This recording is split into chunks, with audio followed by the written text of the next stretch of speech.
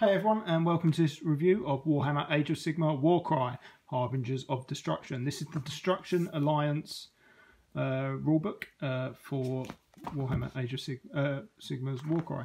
Uh, I'm going to go through the book uh, slowly, uh, holding the pages down so you can see everything you need to. Hopefully my camera is good enough quality and we're going to have a little look. So, Smash and Bash. This is about using the book, um, like what the book's about. Uh, this is the uh, about the faction rune marks. So you'll see here you get four four warbands you can make up: Bone Splitters, Gloomspite Gits, Iron Jaws, and Ogre Mawtribe. So not not a huge choice for destruction. Just the four. There's no Mega Gargants. Uh, uh, so you can't add those. But um, here's the heroes and allies. Uh, so this is like what you had in Monsters and Mercenaries. Uh, anyone with a leader rune mark or an ally rune mark can be added to a warband under like narrative play. Uh, it tells you how to do that. You can't have heroes and allies lead your warbands though. Also included is monsters and thralls. So you, here you'll have the rules for adding monsters. Uh, so here you've got the hunting abilities and the monster abilities. Uh, and the monsters available to you are the Aleguzzler Gargant, uh, the Skitterstrand Arachnarok, Dankhold Troggoth, which I think is a new one, and the Thralls, which you can add if you've dominated territory. Um, you can add these to your warband. You pay the points, but they don't count to the total number of models. Um, so you can have a rock gut or a Fellwater Troggoth. and then on to the actual warbands. So we start off with Gloomspite Gits. and uh, included within the Gloomspite Gits, for the first time, I believe, are Spider Riders. So you've got a Scuttle Boss, a Web Spinner Shaman, Spider Rider Boss. These are new additions, I believe. Uh, and then you've got uh, Spider Riders, you've got Squigs, everything you need. Uh, these ones on this page are allies. So they're they're Gloomspite Gitz faction, but they're also allies. So you can use these. So they don't have the reason they've got the ally mark is because they're not leaders. So you do have the ability to add these to um, like an ogre warband, even though it doesn't have a leader mark. So that's quite cool. And then we have the ogres. So uh, that's the background. It's nice to get the background included in the book, uh, something that is missing from the cards. Um, also, you get the names on the profiles now.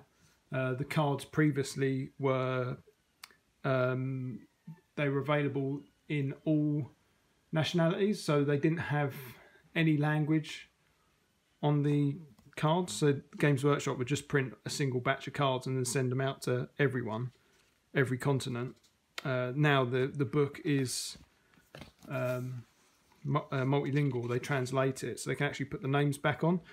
Um, I'm going on about that a little bit, but I'm really happy for that. I'm pleased to have the names because with Warhammer Age of Sigmar, they've changed all the names of everything. So if you're a Warhammer head like me from back in the day, you've now got to learn all these new names. So it's useful to have the names. Anyway, anyway, anyway, anyway. Right, so here we have Orruk War Clans. Um, there's their background.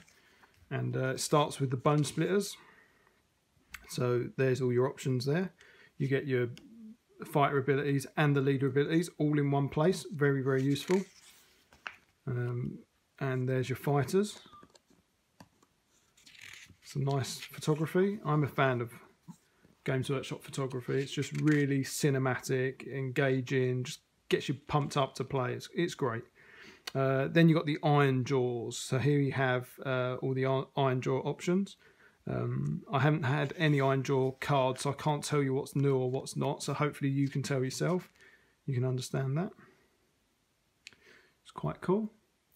There's no. Um, I'm surprised there's no Maw-Krusha in the monster section. That would have been quite cool. Maybe Games Workshop are saving something for, you know, future release or something. Who knows? But um, here are the background tables. So if you want to name your models and give them origins and favoured backgrounds. That's where you get that information from.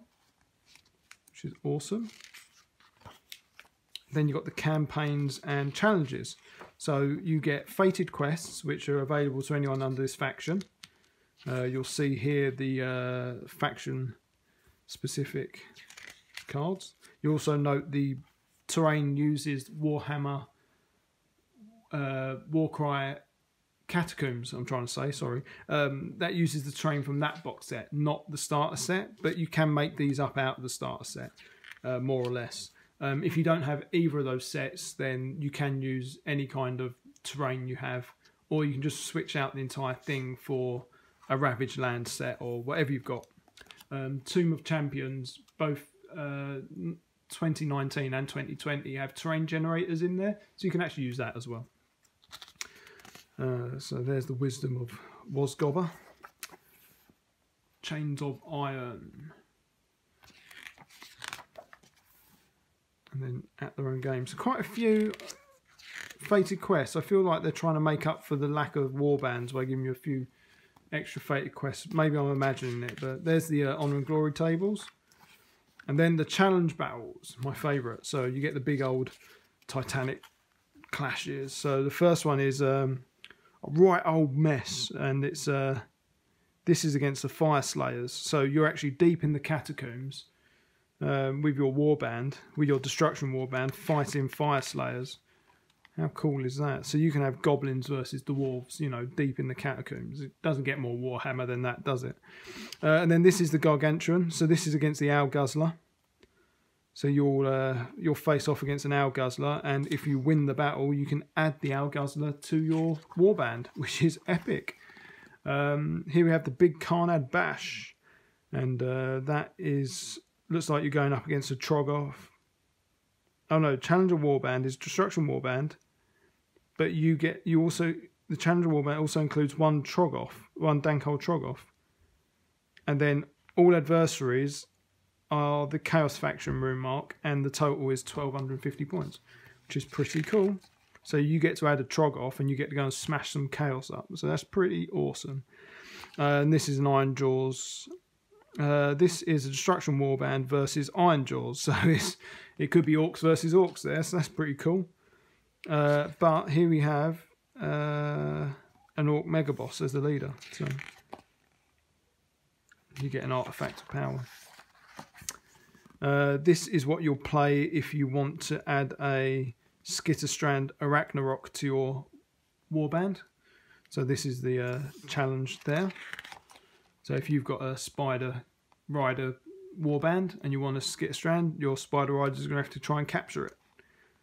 Uh, and then you've got Bloodbaths and Brugrit, Brugits, and that's a, and that uses the, uh, what does that use? adversaries get 1300 points. Not sure really. Challenger War Medals includes one. Oh, so you get a Brugit. Oh, right. The adversaries in that is literally the same faction rune mark, so you can play that against anyone.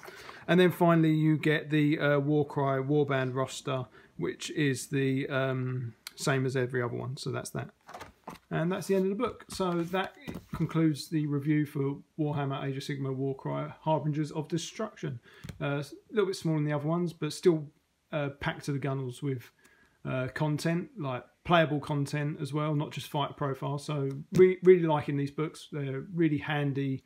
Uh, rather than having loads of cards and stuff, you know you can just have the books or they work well with the cards as well because I don't believe the cards have changed. I think I've only found one instance of one card changing and that was in the Chaos book. So that was the Aspiring Champion.